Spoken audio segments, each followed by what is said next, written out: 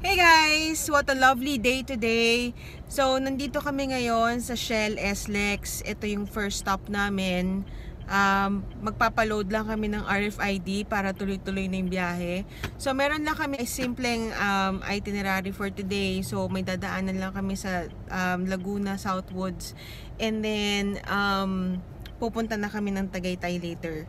So, papakita ko lang sa inyo guys later yung mga kakainan namin, yung mga places na pupuntahan namin for a short period of time. So, day tour lang to.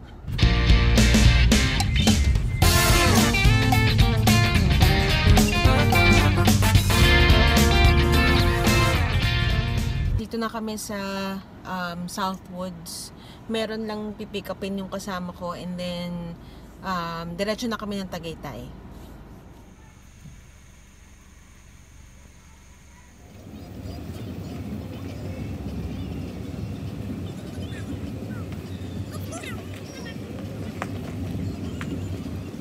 Ayan, so nandito na tayo sa ilog ni Maria Bee Farm.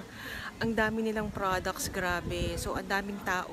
Ah, hindi ko in-expect na ganito kasi medyo malayo. Tsaka nasa looban talaga siya. Hinanap pa namin, gumamit kami ng Waze. So, check ko muna yung mga products and then mukhang feeling ko marami akong mabibili rito. So, papakita ko na lang sa inyo guys mamaya yung mga products na binili ko. Mura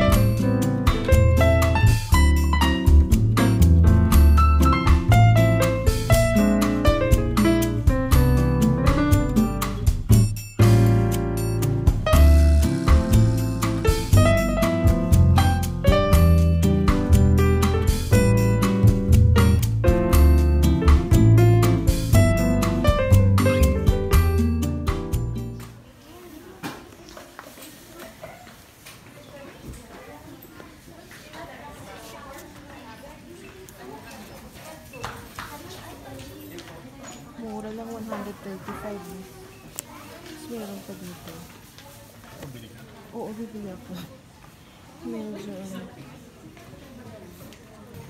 Ano ba ito? Ma maano ba ito? Ay, hindi ko siya mabubuksan. Hindi, it's ano. Ang bango. Ang bango. Gusto ko to. Ano ba to? Ah... body spa. 135 lang. Sige na natin. Hmm, Pink. Rose and mint oils. Yung isa, yung green. Eucalyptus and mint oils. Ay. Bango, grabe. Milk. Ah, mas gusto ko yung ano. Yan. Kunin ko na to. Tapos eto,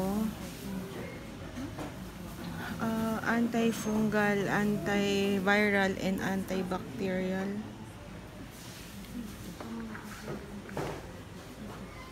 Parang cream siya. Magkano to? 175, 100. So, natin. 100 pesos.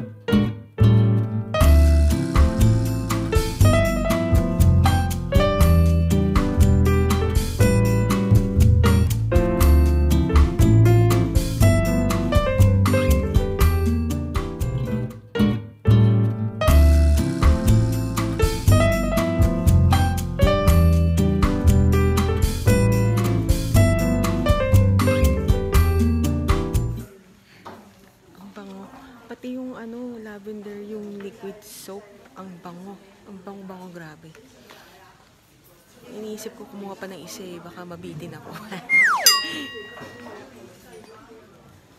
Kasi ano, ilang ml lang siya. Wala naman nakalagay kung ilang ml. Pero, ayun. Ayan, dami. Dami. Actually, dami ko na nakuha eh. Ayan oh. Dala niya. Ang ganda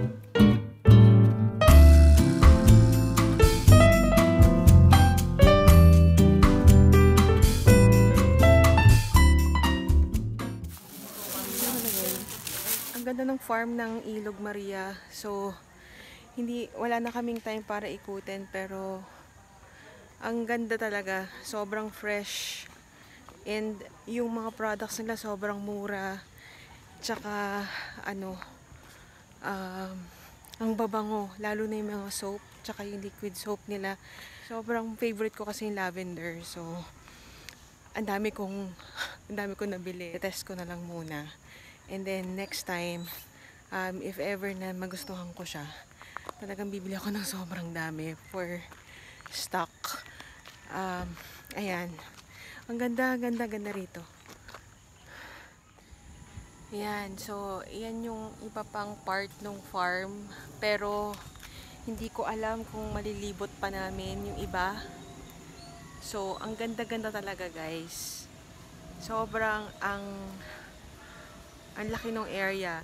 Um, since wala na kaming ano, kasi no oras na 4, magko-close sila ng 5.30. So, ayun. Hindi ako prepared na mag, ah, mayroon pa pala doon ng cute. Sige, sandali. Parang may ano siya, parang coffee shop. Hindi pala coffee shop to. Work area pala nito. Tingnan nyo. Yan. May mga machines. Hindi mo pala machines. Parang ano. Ang daming kahoy. Mga panggatong. So, ayan. Pressurized mixer. Nakalagay. Ayan. Kita nyo guys.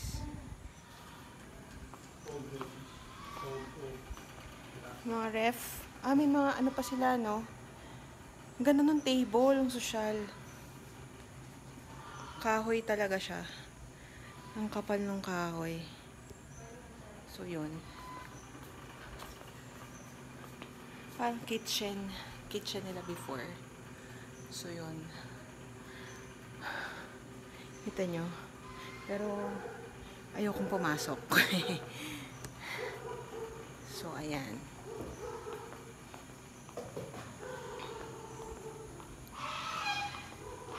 Daming manok, tapos daming aso. Ayun, meron sila ditong machine, uh, stove stamping machine. Dito yata nila ginagawa yung mga soap. Ayan, soap tubes.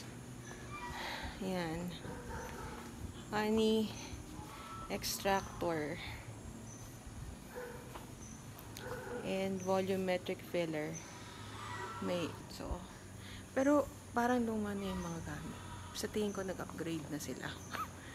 Ayan. Meron pa dito mga ano FYI about bees, honey bees. Ito yung mga kahoy na sinasabi ko, ang dami. As in, ang dami. Hanggang, hanggang doon ang kahoy.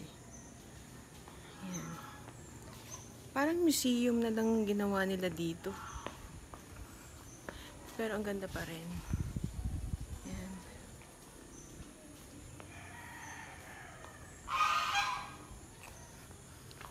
Grabe, dugyot na ako. Mga bees. Wait ah. Ah, yung parts na namin. Yun pa. Ah, okay. Yung malaman ko na po. Baka may mga bees pa dyan. Masking tayo. Oh, Lilipad-lipad. Rainbow. Eucalyptus. Ito yung sinasabi ni Tita Edna na eucalyptus. Ang ganda nung kahoy niya, kakaiba. Ay, ang gaganda. Parang rainbow nga siya. Kaya pala nasabing rainbow eucalyptus to. Okay. Ang Ganda nung kahoy. So, yun. Dito. Yung parts ng bees. Yan. Oh, matagal-tagal na lakaran to ah.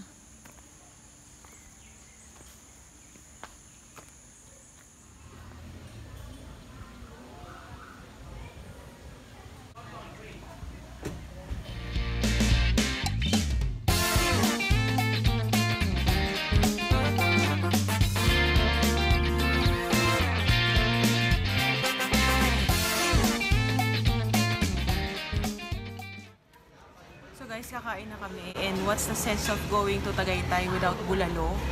So, nag-order kami ng extra special bulalo and crispy tawilis.